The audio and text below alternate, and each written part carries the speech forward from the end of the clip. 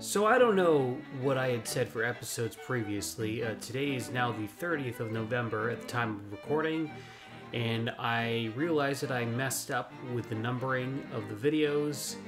I uh, on the eighth video I had put a nine instead, so I, I don't know if I'd put something different for those, but uh, in terms of what I said in the videos. But anyway, we are going to continue on now. We just beat the fifth temple. We are going on to the sixth. Uh, before I do that, let's go to memories. The fish sleeps long and dreamily in the egg above. You play the. Oh, that's not. No. All right, that's that's not what I needed to know. So I do need to go. You know what? I I know what I need to do. I need to go and basically hop on the raft and go down right up here. I have enough money. I need a hundred coins, I think, to get on that raft. With 177, okay, that's that's plenty, and I'll certainly earn back any money that I lose while I'm on it. So I wanted to talk too because I realized I had mentioned this story, but I never actually brought it up, which is I talked about a personal family story about knowing that the Queen of England during the Second World War was a mechanic. So on top of my wife's family telling me this, um, there is a story that I have about when my grandfather served in World War II. We're just doing the Rapids raid, and I want to use the hook shot and the feather. Um, so, my grandfather served in the army during World War II, and you know, a lot of people probably have stories about their family, about their grandfathers serving and being these amazing military heroes. My grandfather, not so much. Uh, basically,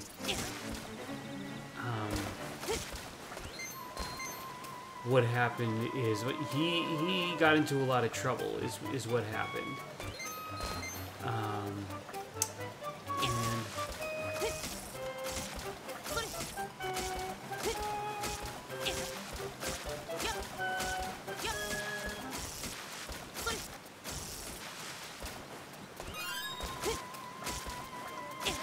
ah, sorry, I gotta focus on this.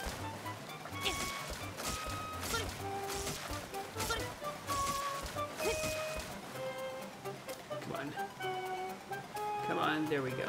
Okay, so, um, grandfather served in World War II. He was not the most fabulous uh, of individuals who served. Uh, he uh, liked liked the sauce, and uh, my understanding is he got into quite a bit of trouble because of it. Ah, shoot! I gotta get the hook shot. Um, there was an incident where he um, there was an incident where he had um, like wasn't getting enough sleep, basically, and because there were fighter enemy jets um, that continued to fly overhead as he tried to sleep. And so he came out one night and decided that he was just gonna he was gonna start shooting at the planes that were flying overhead. So he got demoted. Um,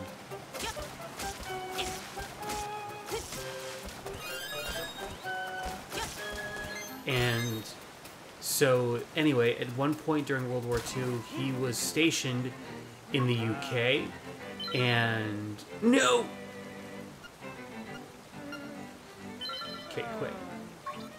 Um, and he uh, was uh, he was under the influence. Ah, nuts.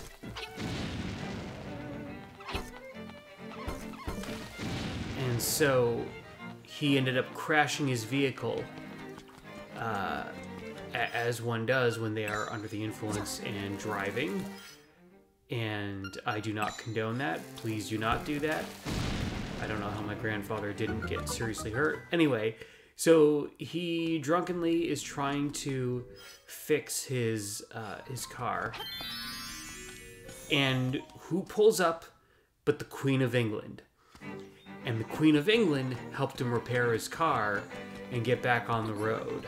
So it's just absolutely wild that you know the Queen of England helped my grandfather when he was a was a hot mess. Now, the postscript to that story is my mother insists that um, my grandfather and and the queen fell in love and they were gonna get married, but we I, I, I've already determined that that's hogwash. You know, there's there's no way that that was gonna happen. Like, don't get me wrong. You know, if you saw my grandfather in his uniform, he was a very handsome guy. He was pretty suave. More than anything else, he knew how to take care of the people he cared about and loved. Um, so I'll follow that up with the story about when he married my grandmother because uh, he um, my, my grandfather had kind of an, a rough upbringing. I know his father, my great grandfather, abused him, and uh, nuts. I gotta use the arrow. So he ran away from home and um, and had to deal with that nonsense. Uh, but so he, you know, he, he ended up doing pretty well for himself. He only got an eighth grade education because high school, for those who don't know, wasn't included at the time. Anyway, he eventually meets the woman who becomes my grandmother. Um, and I am very grateful that they found each other.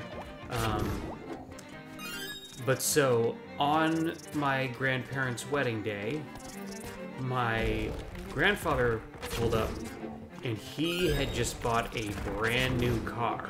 My grandfather, even though he only had an eighth grade education and didn't go to college or anything like that, um, he did very well for himself working for IBM.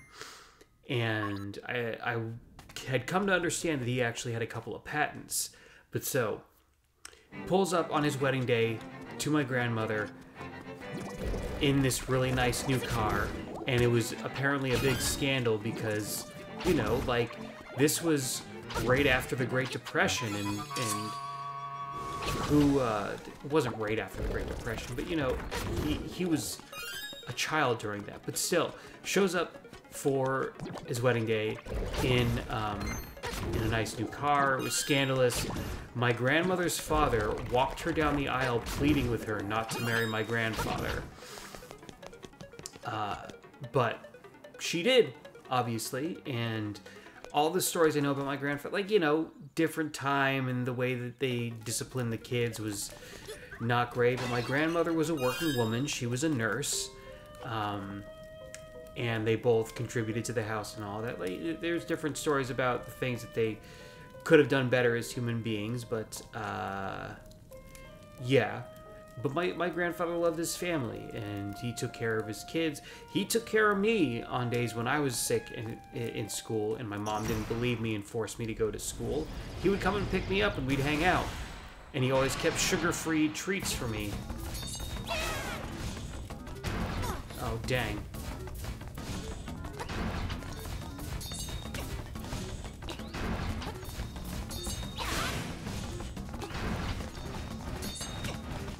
Dang. So anyway, my grandfather was a great guy.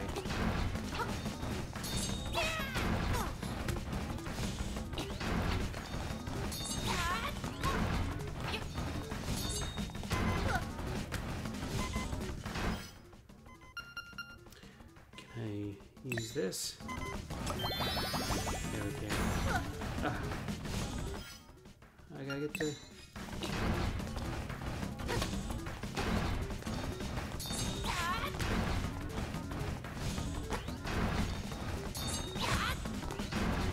am I supposed to do?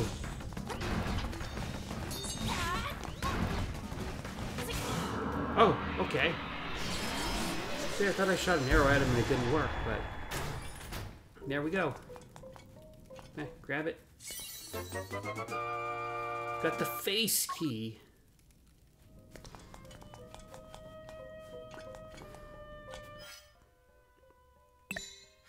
Yeah, my grandfather was a good guy, though.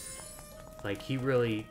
He took care of me in a lot of situations where I felt like I wasn't taken care of, and he always considered me, always had types of foods that I could eat, and beverages that I could drink.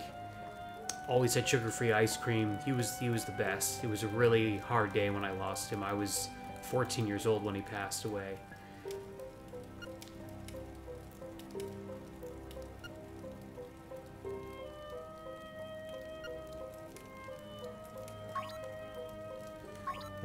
What illusion? But you know, because of the way that he treated me, I try to treat my kids the way that I felt like he treated me and was considerate of me and my needs. So, especially in such a large family. Ah, stupid owl. Hoot, I see you have read the relief. While it does say the island is but a dream of the windfish, no one is really sure. Just as you cannot know if a chest holds treasure until you open it, so you cannot tell if this is a dream until you awaken. The only one who knows for sure is the windfish. Trust your feelings, someday you will discover the answer.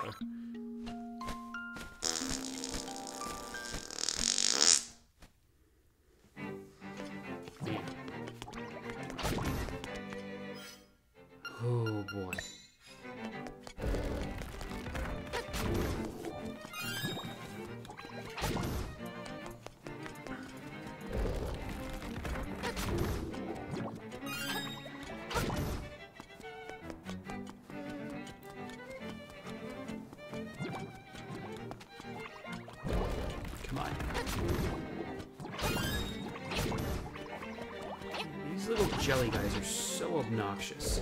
They're flipping everywhere. I gotta go down here. Ugh.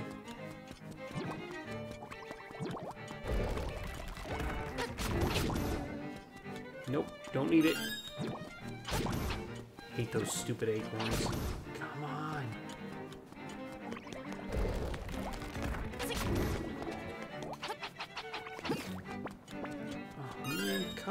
I'm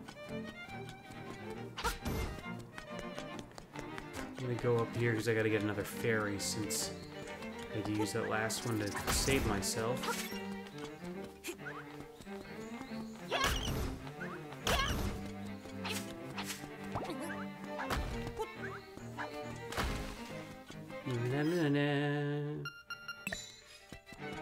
There's where the face key goes.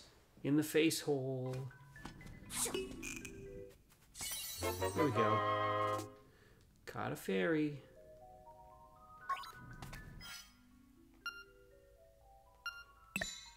There we go. Heal your wounds and get rid of all that stress. Close your eyes and relax. I need an adult! Well, there we go. Fantastic. Bye, fairy lady. There's a bunch of seashells that I need to go pick up that I'm remembering.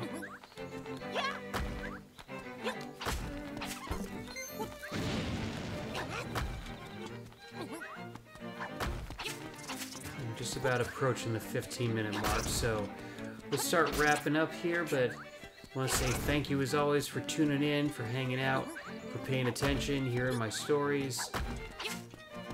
Appreciate anyone who's listening and cares enough to check this stuff out and support me. So thank you.